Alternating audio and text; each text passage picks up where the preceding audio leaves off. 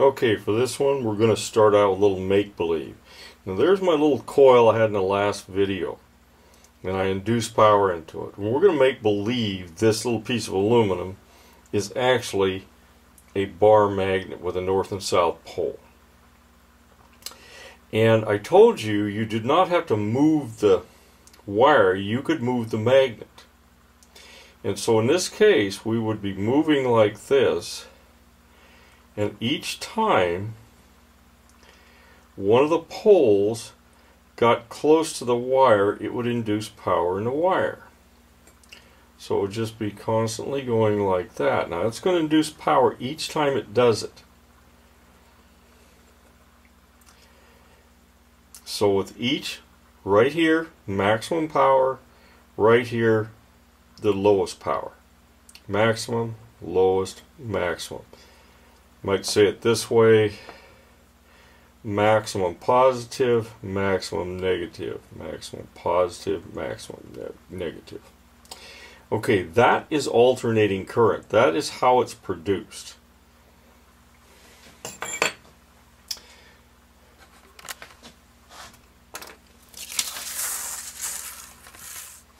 Okay this is a graphical representation of that uh, sine wave. It's called a sine wave. Uh, as this magnet moves its pole, it induces power here. As it rotates like this to where it's lower, this is this little ramp going down to zero. Then it goes back up to the highest peak voltage this way and back down again. And this way is time. So we would go positive volts as this came up to the maximum positive, zero volts, maximum volts negative, zero volts, and on through. So that's uh, really how alternating current is uh, made. It's fairly simple. I don't generally take and put a permanent magnet in there. You can do it, but there's limitations on using that. So you would take and make an electromagnet here. And the electromagnet, you could control the intensity of the magnet by how much power you put through windings that you wrap around this thing. Now here's what one looks like. This is an automotive alternator. And these slip rings here, these uh, are two sides of line. There's windings inside here. And as I put power to these slip rings through brushes, that makes this an electromagnet. As this rotates, it passes some of these things on an iron core uh, on the uh, field winding. And as each one of these poles passes you can see this is a multiple pole. This is actually a three-phase generator. Uh, we'll talk about that later. But as one of these passes one of the other poles it induces power into the other pole and that's how you produce electricity. But you get this same kind of sine wave that we had on this other one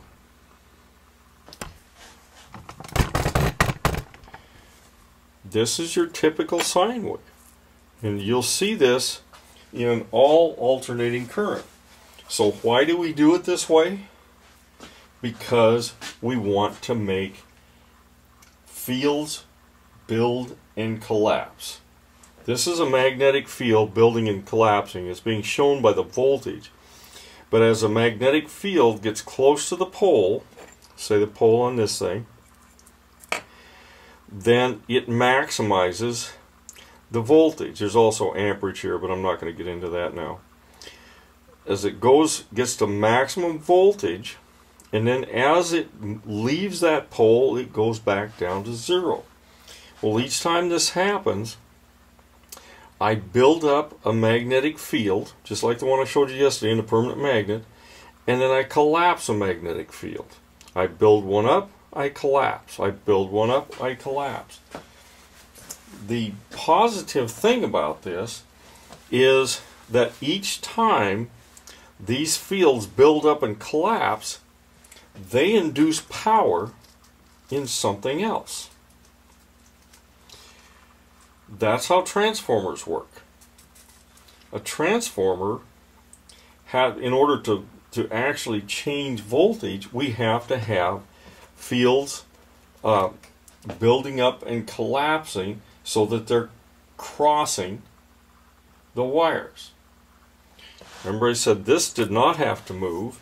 If I had a field that came by it like I had here, it would induce power into it and then it would induce less.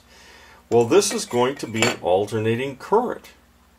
It's going to build up, shut down, build up, shut down. Well, each time those fields builds up, then the uh, when we get to the peak, then the field collapses and that field itself crosses the wires. And so as that field crosses the wires, it induces power. So transformers do that in order to be able to uh, change voltages. Uh, usually they're step up or step down transformers, something like that. And they do it as I've done on one of my other videos. Uh, we can either have them go up or down. Now I'm going to show you a transformer and what it looks like cutaway. Okay, this is a cutaway of a step-down transformer similar to the ones I was showing you in the last video. These are for HVAC. The upper windings, you can see they're fairly large diameter. That's the secondary. The secondary is going to be larger diameter wire uh, because it takes more amperage. Remember, it's the power has to be the same. If the voltage goes up, the amperage goes down. If the voltage uh, goes down, the to go up. So it has to have larger wire in it uh, to work properly. And the primary, you have to look fairly close for the primer. It's very small wire. And the reason they put so many wires in here rather than maybe just put a copper bar through the whole thing is that uh, as the, the uh, magnetism crosses the wires, it induces power in each individual wire. So the more wires, the higher the voltage. So even though the uh, bottom one is a smaller area, it has more windings in it.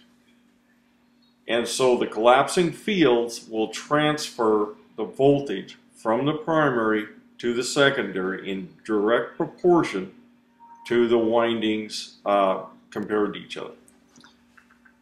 Okay, to recap, uh, you can induce an alternating current into a wire by rotating a magnet or electromagnet near a coil. You can take that uh, alternating current and use it in something like a transformer to reduce or increase voltage by running it through one set of windings and inducing power into another set of windings on the same device. When we do this, we can raise the voltage or lower the voltage. And that's the wonderful thing about the AC is we can raise and lower its voltage. And the voltage is raised or lowered depending on the windings in the primary and secondary of the transformer and that is the uh, low voltage transformer.